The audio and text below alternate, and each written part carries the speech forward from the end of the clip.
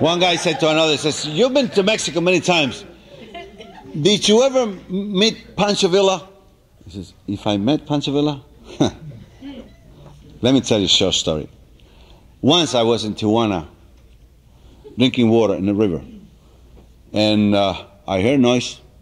I turned around and I saw a white horse. There was a man on the horse.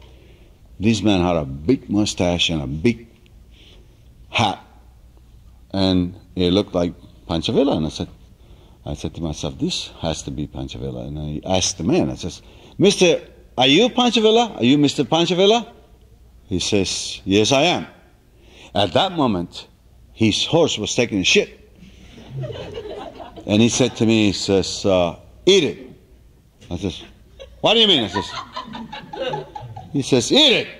And he had his rifle in his hand, pointing at my head. He said to me, Come on, eat it. And I had to eat it. I ate the first one, and uh, when I was going to eat the second one, came a thunder, a big thunder came, and his horse jumped, and he fell on the floor, and his rifle was next to me, and I grabbed the rifle and I pointed at his head, and I said to him, Mr. Villa, you're the one who's going to eat it now. and he had to eat it. And you're asking me if I ever met Pancho Villa? Pancho Villa and I had lunch together in Tijuana.